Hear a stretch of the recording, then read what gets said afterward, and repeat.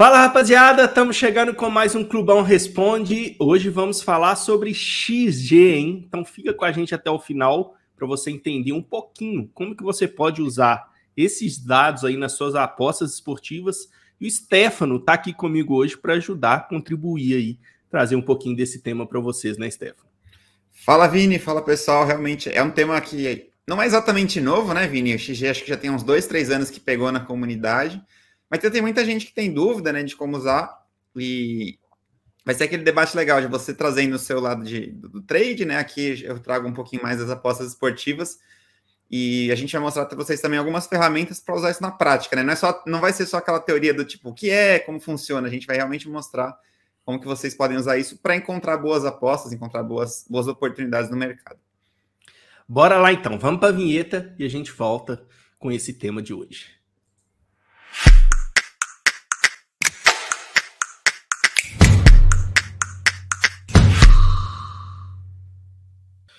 Bora então, Stefano. Primeiro agradecer aqui, né, cara, o Elton.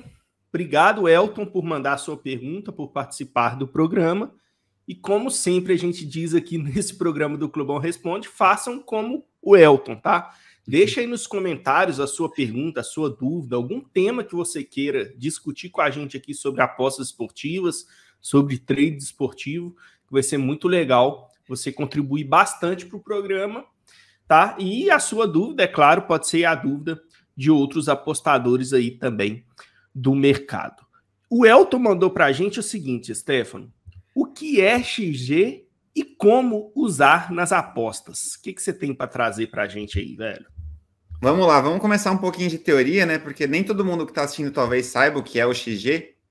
Então, para definir para vocês, é, é uma sigla para Expected Goals em inglês, ou seria gols esperados em português, né? Basicamente é uma métrica que avalia toda, toda a criação ofensiva de uma equipe dentro de uma partida e compara, por exemplo, a chance de gol e a qualidade dessas chances de gol versus o que realmente foi feito né, de, de conversão, né? Ou seja, os gols que realmente foram marcados. Para trazer para uma linguagem um pouco mais popular, né? Porque isso aí talvez seja um pouco técnico e, e um pouco confuso. Todo mundo, todo torcedor tem aquele jogo que foi lá no estádio, estava assistindo, o goleiro adversário virou Neuer, né? Começou a pegar tudo. Então, e aí, uh... Exatamente. e, e, às vezes o que acontece? Você sai com a sensação do estádio que seu time criou para fazer três gols e ele fez um.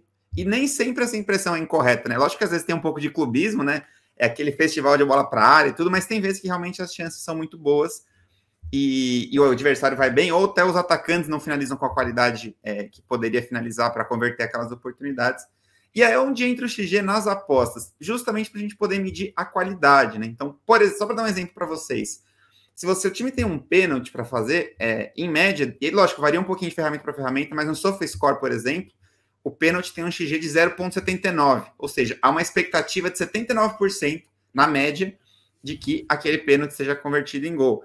O Henrique Dourado, por exemplo, que está no Cruzeiro, hoje do Vini, é, certamente deveria ter uma métrica de 98%, porque ele bate muito bem pênalti. Outros batedores. Se o Bruno Rodrigues deixar ele bater, é claro. Uma polêmica aí de novo. Já o Dudu do Palmeiras, por exemplo, que é um cara que perde muito pênalti, provavelmente deveria ter uma chance menor de 79%. Mas não é nessa discussão. É dizer que um pênalti ele tem uma chance de virar gol muito maior do que um chute ali bloqueado né, na, na lateral da área. Então, isso se converte de forma que a gente consiga entender se os resultados são justos ou não, se o desempenho daquela equipe é justo ou não. E aí, antes de passar para você dar a sua opinião também, Vini, só para dar um exemplo prático para a galera, eu vou colocar minha tela aqui. Sei que não está com a melhor visualização do mundo. É, esse é um site que chama Futebol XG. É... Consegue dar só um zoom, Stefan? Eu, eu, já dei, que vai ficar meio. Vamos ver se melhora assim. Aí, aí melhorou, melhorou. Dá para o pessoal ver, né? Aqui é o XG, o, uma, uma, tabela que faz análise do XG tanto a favor como contra, né? Esse de against. Então, é, quando o, adver, o que o adversário criou em média para fazer gols na, naquela equipe. E a gente consegue trabalhar com o XG de pontos também. O que, que, é isso? É, essa, essa tabela ela vai fazer um cruzamento, em vez de fazer uma classificação apenas dos, dos resultados finais, ela vai fazer uma classificação em relação ao desempenho, né? Ou seja, se, como que seria a tabela se o resultado final fosse de XG. Então, essa é uma ferramenta que eu uso bastante, depois a gente vai deixar o link na descrição para vocês poderem acessar. E olha que interessante, por exemplo, o Botafogo, que nesse momento que a gente está gravando é o líder, tem sete vitórias em oito rodadas, por desempenho, não deveria ter 21 pontos, deveria ter 16, né? Que é uma. Isso quer dizer que o Botafogo, nossa, que absurdo o Botafogo na liderança? Não, tem uma questão de eficácia, né? E aqui tá pesando muito, provavelmente, o jogo contra o Flamengo, que o Botafogo foi, foi pressionado no primeiro tempo, teve um jogador a menos e tudo mais, mas conseguiu encontrar ali dois contra-ataques e resolver o jogo no segundo tempo. Então, um outro exemplo, só para deixar um, que eu gosto, que acho que é bastante didático, é na Série B, que acho que é até um pouco mais chamativo. O Tom Bense, para quem não não está acompanhando, está na zona de rebaixamento, né? Venceu acho que apenas uma partida e perdeu seis. Mas vejam que por desempenho, por XG, ele deveria ter 18 pontos. Ele deveria estar brigando ali na parte de cima. Então, como que eu posso usar essa informação na hora de apostar? Muita gente olha assim, pô, Tom Bense, uma vitória em, em nove jogos, tá uma fase terrível. Qualquer, qualquer aposta contra o Tom Bense eu vou pegar, porque isso aí é, é muito tranquilo. Às vezes não. Às vezes o Tom Benz está jogando bem, mas a bola não está entrando. Ele está tendo dificuldade de converter aquela chance de gol. O goleiro adversário está indo bem. É, tem um pouquinho de fase. Eu acompanhei um jogo, por exemplo, com a ABC, que eles pressionaram, bola na trave, tomaram, fizeram um gol contra, depois acabaram perdendo o jogo. Então, isso não significa que é para você sair apostando no Tom Benz em qualquer situação, mas significa para a gente tomar um pouquinho de cuidado que o desempenho dessa equipe não é tão, não é tão ruim quanto, as, quanto os resultados deles sugerem, né? E aí a gente consegue ajudar a encontrar um preço justo para cada partida. Então, essa é uma primeira funcionalidade. Tem uma porrada de ligas aqui, tem Chile, Bolívia, todas as séries principais da, da Europa, então vamos deixar na descrição que pode ser bastante útil para vocês analisarem. E do lado do trade, Vini, como é que é essa parte do XG? Você usa, não usa? Então, velho, para trazer um pouquinho da, da minha visão, e aí não é uma questão do trade em si, é a visão do Vini em relação ao XG, tá? Antes de eu falar isso, só para acrescentar aqui um pontinho da parte característica ali do, do XG, da parte teórica também, só para acrescentar o que o Stefano trouxe, que na verdade ele trouxe foi uma aula, né, de XG, não foi um comentário. Mas é, é que também ele calcula até o tipo das finalizações, tá? Se foi de cabeça, se foi com pé, se foi com a coxa, da onde, a região que foi aquela finalização. Então ele calcula vários pontos nesse sentido também. É uma, é uma forma de regressão, se eu não me engano, que é utilizada, não é, Stefano, para fazer esse é. cálculo? Não, não, é certeza, mas eu acho que é. Depois a gente é. pode até investigar e deixar aqui nos, nos comentários para o pessoal. Isso. Mas vamos lá, cara, trazendo isso para o meu lado do trading, tá? É, eu, particularmente falando, não uso, mas poderia facilmente utilizar. Principalmente eu que trabalho no mercado do under limite, eu trabalho muito com volume, eu não sou específico. Quem trabalha mais específico talvez poderia utilizar melhor essa questão. Por exemplo, tá? Vou dar um exemplo ali que o Stefano trouxe muito legal da Tom Bense. Particularmente falando, eu não assisti nenhum jogo da Tom Bense ainda não. Mas pelo que você está tá dizendo, é uma equipe que cria muito, tem volume, chega bem para criar chance de gol, só que perde muito gol. Ou seja, não tem qualidade técnica para definir aquelas boas chances criadas, né? Ou pode ser um momento também, a gente pega um outro exemplo comparativo, por exemplo, a gente pega o nosso rival aqui de Minas, o Atlético Mineiro, no início desse Campeonato Brasileiro, no, no final do Campeonato Mineiro também, esse ano. O Atlético estava criando muita oportunidade de gol, empatou e perdeu alguns jogos que, se fosse para pegar o XG daquele jogo ali, o Atlético tinha até goleado em alguns jogos. Teve um jogo, se eu não me engano, contra o Santos, que o Atlético criou uma porrada de oportunidade ali, deve ter tido um XG bem alto, mas não conseguiu definir aquilo em gols. É qualidade técnica do Atlético? Não, o Atlético tem qualidade técnica, aquele era um momento. Então tem que saber distinguir isso também em determinadas situações. Por isso que, às vezes, conhecendo a equipe, isso facilita o nosso trade. A gente trabalha no live, isso pode interferir sim, tá? Eu não uso, mas poderia interferir. Por exemplo, quem trabalha assistindo os jogos para tomar uma decisão de entrar no mercado, usa muita leitura de jogo. E, por exemplo, eu vou pagar um ataque que toda que aquela equipe está toda hora chegando com muito perigo de marcar, mesmo que a recompensa do fim daquele lance vale a pena, eu sempre gosto de calcular o meu risco de tomar um gol no under, por exemplo. Então, o meu risco está alto, o mercado está pagando bem, eu não gosto dessa continha. Eu gosto quando o mercado está pagando bem, pode ter risco, mas o risco está baixo. Se eu conheço, por exemplo, a Tom Bense, e, e, é o que o Stefano está trazendo, ah, tá, é uma equipe que tem um XG alto, só que não consegue concluir aquilo em gol. Tá, aquilo é um momento ou é uma característica mesmo dessa equipe? Se for uma característica desse, dessa equipe, eu posso aceitar mais esse risco. Porque por mais que ela está criando situações, eu sei que, que no longo prazo, se for característica mesmo dessa equipe, ela vai perder muitas chances. Então, aquele, aquele risco que eu gosto de calcular na minha cabeça de que o risco do gol tá alto, mas o mercado tá pagando bem, às vezes, para quem não conhece essa equipe e está trabalhando o jogo da Tom Bense, vai precificar muito alto esse gol, só que, na verdade, ele não deveria ser é. tão precificado assim, né? Então, esse conhecimento, né, trazer esse número junto com o conhecimento da equipe pode te dar valor a longo prazo, tá? Mas aí, repetindo, eu particularmente não uso, porque eu gosto de trabalhar com volume no trade. O que vai, o que vai fazer eu ser lucrativo é o volume das minhas entradas e não a especificidade ali da minha entrada em si, que eu acho que, né, Steph, para utilizar esse número, ser mais específico, acho que seria mais legal, né? Agora, uma pergunta que uhum. fica para mim, para você, que eu volto a bola para você. Você utiliza nas suas apostas? E se sim, como que você consegue aplicar isso ali na hora de fazer a sua análise, na hora de fazer a sua precificação das suas apostas? Sim, boa, essa pergunta é legal, porque eu uso ela de duas formas diferentes, né? Uma das, das maneiras é no caso de analisar jogos que eu não consegui assistir. E eu vou trazer um outro exemplo prático, que sim, é, não sei quem está assistindo, mas eu, por exemplo, faço muitas ligas. Eu não trabalho só como geralmente faz um Panther, tipo, ah, vou trabalhar aqui brasileiro e mais duas ligas, conheço todas as equipes, precifico. Acho que até uma característica que eu herdei quando eu comecei no trading esportivo, né, que a gente trabalha muito equipes, isso é diferente para Panta, hein? Bem diferente. É, é, diferente isso. Geralmente o pessoal acaba focando. Eu, quem tá lá no Telegram sabe, a gente manda a liga da Turquia, da Suíça, da Bélgica, daqui a pouco tá na Premier League. Como que dá para acompanhar isso se é impossível ver jogos de todas as equipes? O XG me ajuda nessa parte. Vou pôr aqui um exemplo para vocês.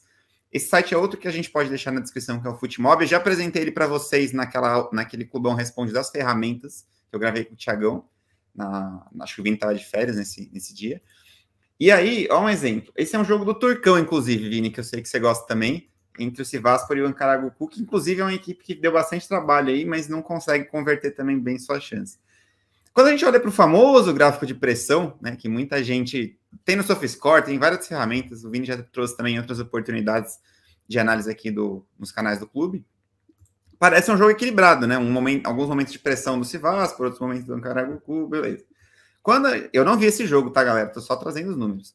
Quando você vai lá para a parte de análise dos dados, né? Vocês vão ver, olha que interessante. Esse jogo, o Sivasspor adotou uma postura muito reativa, né? A gente está falando aí de apenas, apenas 37% de posse de bola. Basicamente, ele deu a bola para o adversário e quis explorar os contra-ataques. Esse é outro dado que pode dar a impressão de que, sei lá, ele jogou mal. E não é verdade, porque quando a gente olha aqui na parte direita o XG, o, o Sivaspor conseguiu criar o suficiente para marcar quatro gols. E o Ancaragucu não conseguiu criar quase nada de chance de gol. Ou seja, foi uma posse de bola muito estéreo. É, o pessoal até critica como arame liso, né? Que aquela posse de bola que fica para lá, fica para cá, fica para lá, mas não, não tem penetração, não tem criação de jogada ofensiva. E foram simplesmente 24 finalizações com 37%. Então, assim, quando você olha para esse dado ou para o gráfico, dá para dizer que o desempenho do Sivaspor foi excelente, mesmo sem ver o jogo. Por quê? Claramente era uma proposta de explorar espaço, explorar contra-ataque, e ele fez muito bem. Ele criou sete chances claras de gols, quando a gente vê aqui embaixo. Então vejam, eu não vi o jogo, mas eu tenho já um, um retrato de, dessa partida, de que o Sivaspor fez uma boa partida aqui dentro da sua proposta. E até o que o Vini já trouxe da, da questão das quali qualidades das finalizações, vejam só. A gente consegue ver todas as, as 24 finalizações e também as do, as do Ancaragucu. Vejam que, como, mesmo com muita posse, praticamente não houve finalização, né? e a gente consegue clicar numa finalização e ver o XG desse, dessa finalização. Então, até o que, que eu gosto também de fazer nessas análises? Às vezes a gente olha só o XG e fala assim: vamos supor que tenha sido 2 a 0 do Sivaspor, com XG de 2, só que foram dois gols de pênalti. Como eu já falei, e tem até esse exemplo aqui, o pênalti tem um XG de 0,79, seria 0,80 praticamente. Se eu estou falando que ele teve dois pênaltis na partida, ele tem um XG automático de 1,60.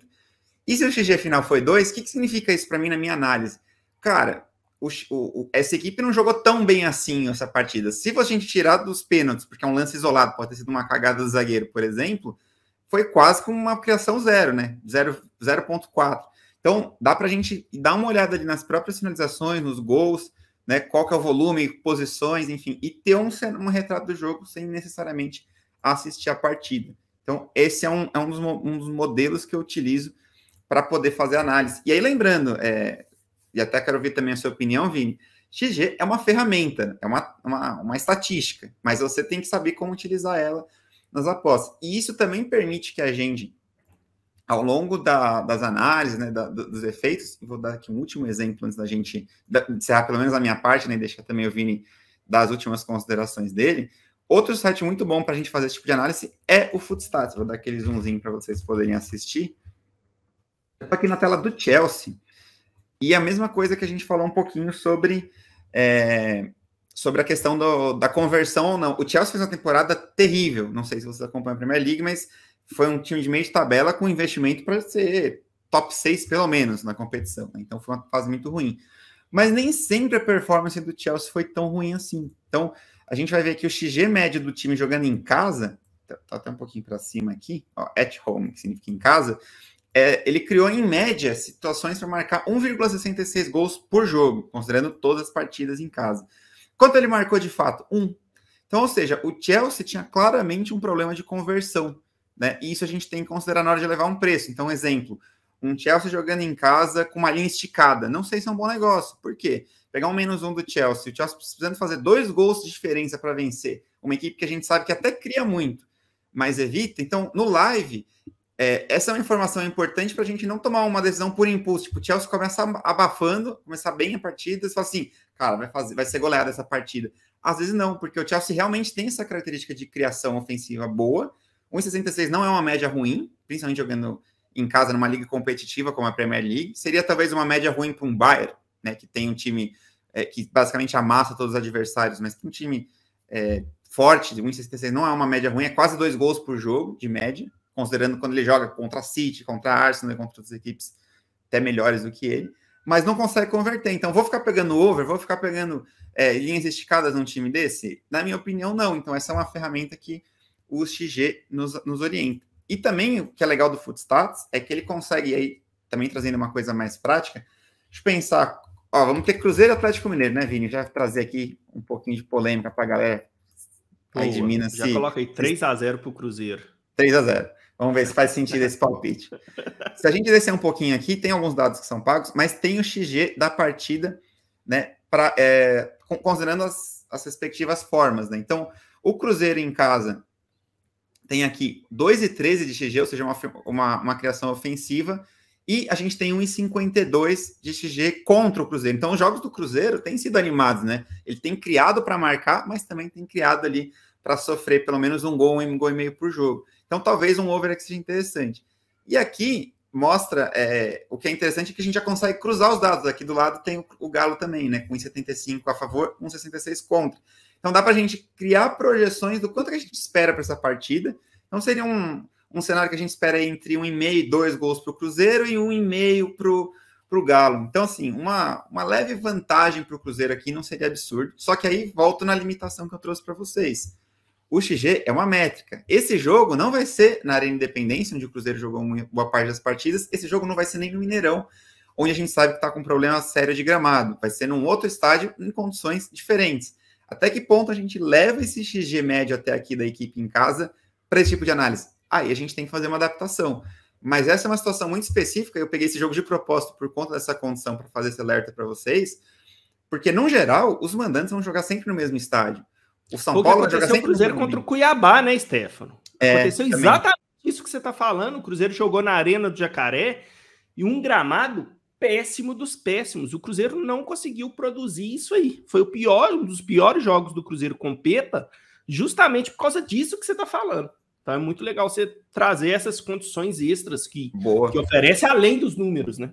É, e só, só, uma correção, galera. Como eu dei um zoom na tela, ele, ele divide a, as telas de Cruzeiro e Galo. Então o Galo está um pouquinho mais embaixo, mas o XG também é mais ou menos isso que a gente falou: 1,5 ofensivo, 1,40 defensivo.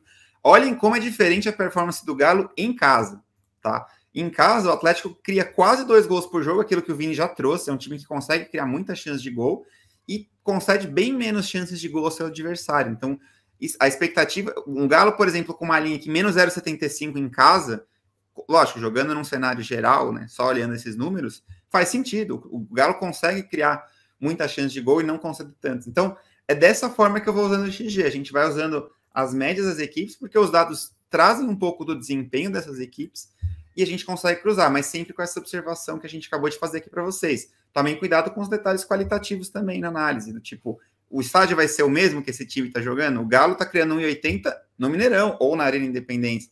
Se ele tiver que jogar um jogo em Brasília, como aconteceu no Mineiro é, algumas vezes ali com o próprio América e Cruzeiro, acho que aconteceu isso, muda um pouco o contexto da partida, né? É um outro campo, porque mando de campo não é só torcida a favor tem a questão das dimensões do gramado. O clima o do estádio é diferente, a torcida é diferente, é, um, é, uma torcida diferente, o jeito de empurrar o time é diferente, tudo é Com diferente. Certeza. Então, eu, eu, acho, Vini, que essas são as formas que eu uso o XG para precificar tanto uma expectativa de gols das equipes, e se eu estou esperando que o Cruzeiro faça dois gols e o Atlético Mineiro faça um gol e meio, então, e aí, esse é um exemplo 100% hipotético, tá, galera? Não vamos pegar essa linha aí no, no final de semana, até porque, como eu falei, são condições diferentes de partida. Tem Libertadores outra semana, talvez o Galo, o Galo acabe poupando alguém, enfim. Mas a gente consegue ter uma projeção. Ah, beleza, então um handicap menos meio aqui faz sentido, porque eu tô esperando meio gol a mais para o Cruzeiro ou não. É, e gols, over goals, pô, essa linha tá over 2. Over 2 é interessante, porque a gente tá vendo os dois times com chance de fazer pelo menos um gol. Então, esse é o tipo de análise que a gente pode fazendo e como eu utilizo o XG para precificar.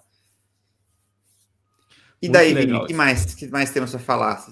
Cara, eu não tenho mais nada. Você deu uma aula aí de XG, você é um cara que realmente utiliza, então acho que você era o mais apropriado para para dar essa aula aqui mesmo. Aqui não foi nem um programa, foi uma aula mesmo de XG. Muito bom mesmo, velho.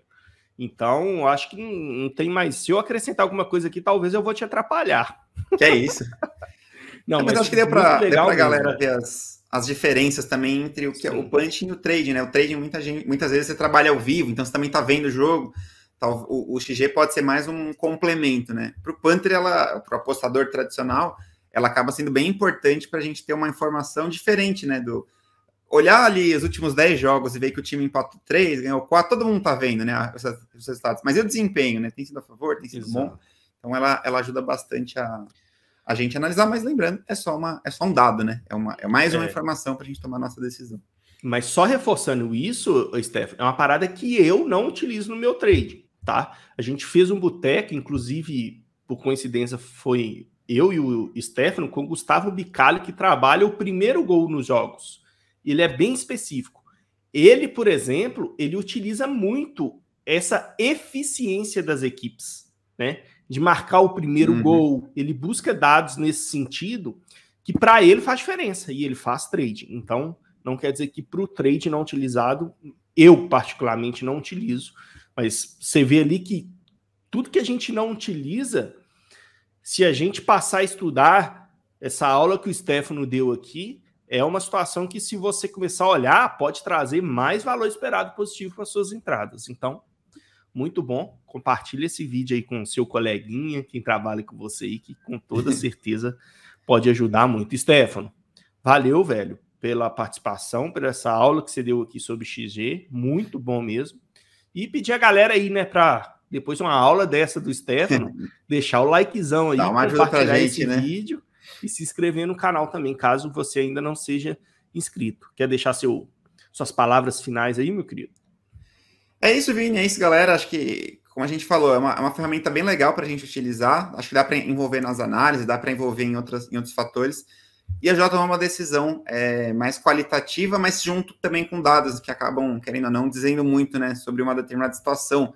Eu percebo que, pelo menos eu como apostador, às vezes, quando eu vou olhar um jogo só com a formação qualitativa, que teoricamente ela é melhor, né? A gente tem essa visão de que ah, o que eu estou analisando é melhor mas às vezes a gente acaba enviesado. Sei lá, eu vi um jogo do Cruzeiro muito bom e eu acho que o Cruzeiro tá voando. Ou contrário, você trouxe o exemplo do Cuiabá. Às vezes eu não vi os primeiros jogos, fui ver com o Cuiabá, falei, pelo amor de Deus, como é que como é que fala que o Cruzeiro tá jogando bem? Cara, é um jogo, é um recorte, mas que pode me impactar, ou até mesmo apostas que eu acabei fazendo, sei lá, fiz uma aposta for do Cruzeiro, não deu, tomei um head ali, falar, ah, não, não, o Cruzeiro não tá tudo isso. E, cara, é um jogo, é uma situação. Os dados acabam trazendo um cenário maior de longo prazo, a gente consegue brincar, ver forma mais recente, ver forma mais longa, enfim. Então, acho que o uso de dados ela sempre, é, sempre é benéfico para o apostador, mas sempre aliado ali a outras ferramentas também, não olhar só um, um número isolado. Então, espero que a gente tenha contribuído com, a, com, quem tinha essa dúvida, como usar o XG, como funciona. Acho que ficou bem legal e, como sempre, a gente consegue fazer, né, Vini? Tem a visão do trade, tem a visão das apostas esportivas para cada um usar como, como achar melhor. Muito bom, Stefano. Muito bom, bom mesmo. Bom, galera, vamos ficando por aqui então. Até o próximo programa. Deixa aí nos comentários a sua dúvida, o seu tema para a gente fazer o programa aqui. É sempre muito bom ter a contribuição de vocês. Aquele forte abraço. Até Valeu, mais. Pessoal. Lembrando, hein? Laninbet na descrição. Quem quiser tem conteúdos avançados aí sobre trade, sobre apostas esportivas. Tem conteúdos gratuitos lá na plataforma. Vai te ajudar bastante. Link aí na descrição.